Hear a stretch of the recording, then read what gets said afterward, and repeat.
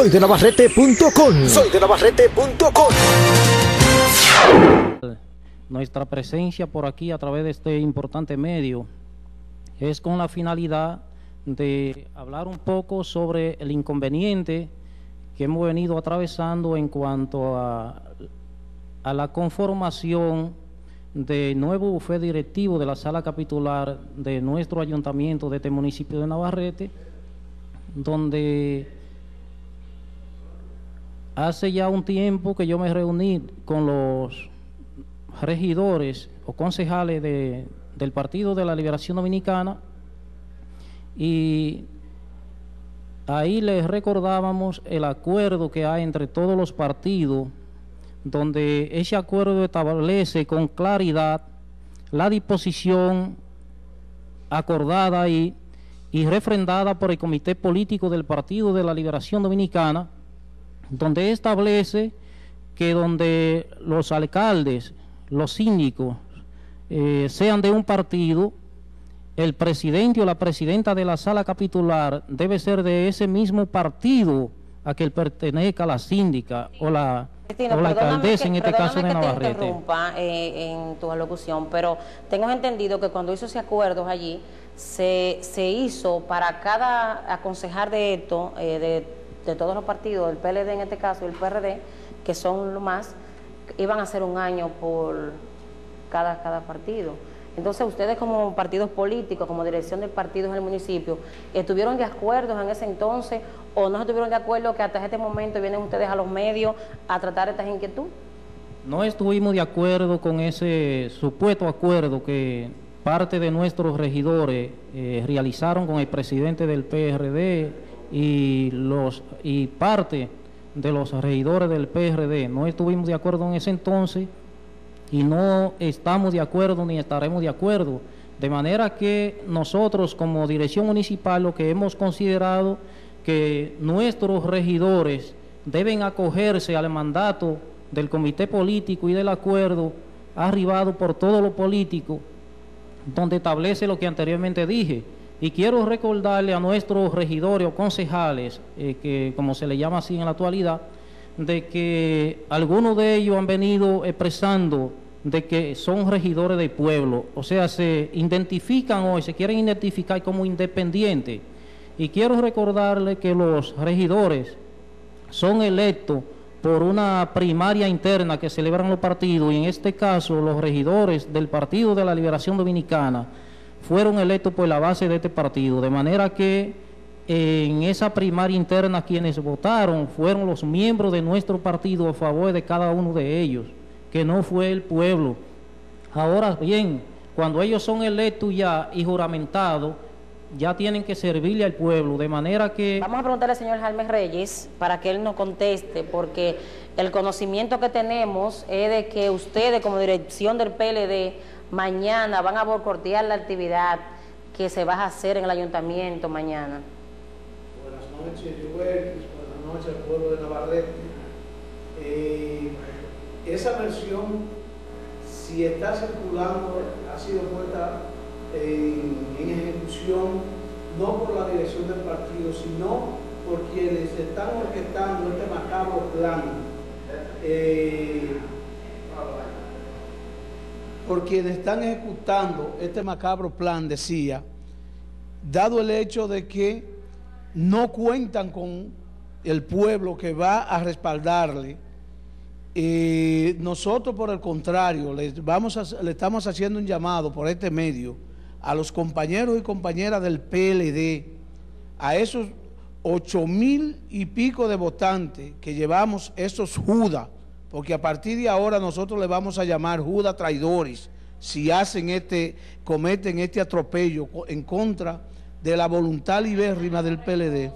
¿Los que tenemos del PLD en el ayuntamiento están de acuerdo con este eh, con esto que se hizo de cada año poner un presidente diferente, aún incluyendo otro partido? Déjame, decir, déjame decirte, primero, eh, hay de ellos que en compañía de la doctora Mantina Gómez se prestaron para esto, para este acuerdo, violando ahora un acuerdo nacional, e inclusive enmendado por la Liga Municipal Dominicana y la Federación de, de síndico, eh, Fedomo, que eh, apadrinó este encuentro eh, con los dirigentes de los tres partidos principales, donde señala bien claro que cuando el, el síndico o la alcaldesa, como es en este caso, es de un partido, la- el presidente de esa sala capitular o la presidenta debe ser de ese mismo partido.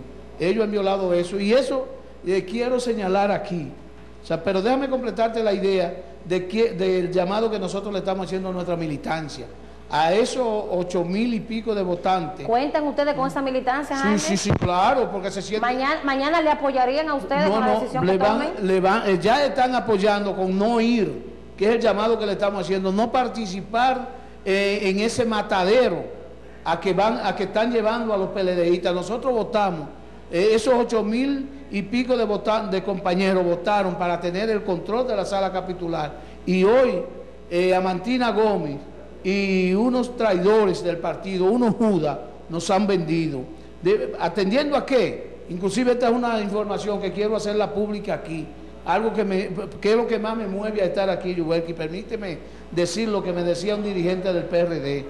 Dice, mira, eh, Amantina y dos de sus regidoras se fueron a la capital a pedirle a la dirección de tu partido, me decía ese dirigente del PRD, que los respaldaran, eh, no permitiendo que fuera un PLDista y que se rompiera el acuerdo que ellos tenían con los PRDistas, porque nosotros como dirigentes íbamos a denunciar las graves irregularidades que hay en ese ayuntamiento. Y yo debo decir, que, y yo le decía a ese dirigente del PRD que si hay graves irregularidades, la dirigencia del PRD es cómplice de, de esas irregularidades. ¿Por qué? Porque esa dirigencia tiene una obra sobrevaluada que nosotros a partir del lunes, como profesional, como ciudadano de este pueblo, vamos a pedirle de que se haga una evaluación que no costó más de 2 millones de pesos y que se está llevando ese mismo Consejo de Regidores, que mañana se va a prestar a eso, va, a- va- va a llevar esa obra más de 11 millones de pesos, que en la rotonda, la que va a ser presidenta del ayuntamiento,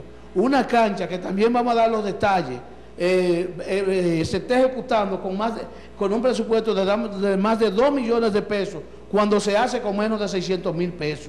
Esa corrupción, yo le decía al PRD, eh, o sea que si, vamos a corruptos, corruptos son todos los que están ahí. Claro, tiene sus excepciones, inclusive dentro de la propia línea del PRD, de los que están ahí, yo debo señalar que hay excepciones, pero hay otros que están muy sucios. Y esa suciedad es lo que justamente se pretende tapar mañana con esa acción, violando todos los acordados por los partidos. Y nosotros como dirección del PLD, que hemos mantenido una posición firme aquí de defensa al pueblo, no vamos a permanecer callados ante esta situación. Jaime, ¿de qué obra me menciona? ¿Cuáles ¿Ah? son las, cuál, es, ¿Cuál es la obra que me está mencionando? Bueno, hay una, hay una cancha en la rotonda, porque yo hablo en específico, cuando hablo, hablo con pruebas en la mano, hay una cancha que está asignada a la, a la regidora Margarita Ponte, donde inclusive voy a, cuando haya más espacio, eh, voy a señalar eh, inclusive todas las maniobras que se dieron para, para esta negociación.